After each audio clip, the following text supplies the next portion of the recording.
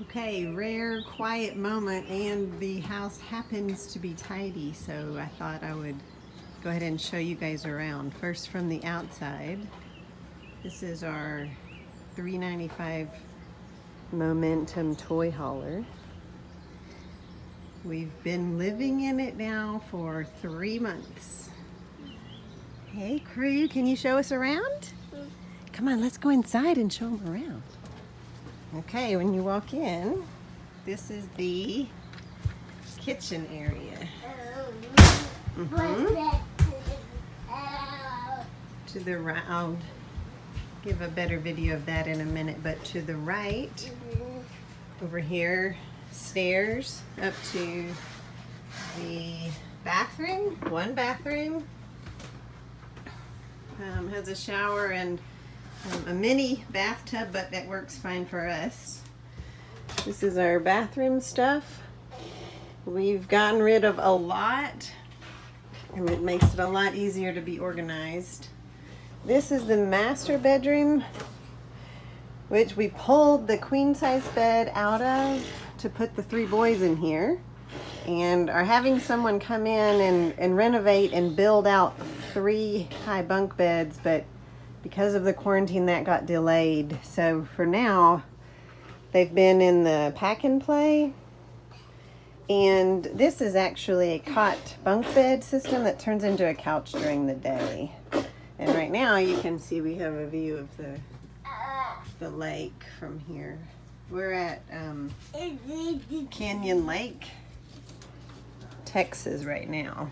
Okay, back down the stairs into the living area and the kitchen. So to the left, there was a small table here and then another couch with the two seats over there, but we really wanted to have a nice big eating area and we didn't need the couches, so we pulled that out and this is our table from home. This is um, our toy organization space. Cree, where are your toys? Where do you keep your toys? That's where Crew's toys are. That's our school stuff.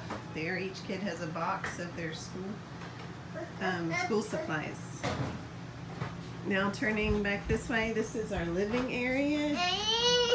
Fireplace, TV, um, good bit of storage. It's plenty of storage for us. What's the matter? Okay, just a minute. And then here's our kitchen space, which is plenty big for us. Um, come here. Okay, come and help me. Come and help me. Here. We have an oven, and then this is a convection oven, which I've just learned how to use, so I can actually bake in the microwave too. Um, a full-size fridge, it's perfect. And then, um, oh, full, nice big sink and counter, quite a bit of space it's enough for us anyway. And then this is our pantry area, spices and stuff. We have some more storage up high. And then this actually slides out to the left and there's that same amount of space in pantry storage back under there, which is cool. It's a little secret storage pantry area. Okay, let's show them Kai's room, huh? So up the ladder is where Kai sleeps. This is his loft. We'll see if he tidied up this morning. Um, not much, but this is his area.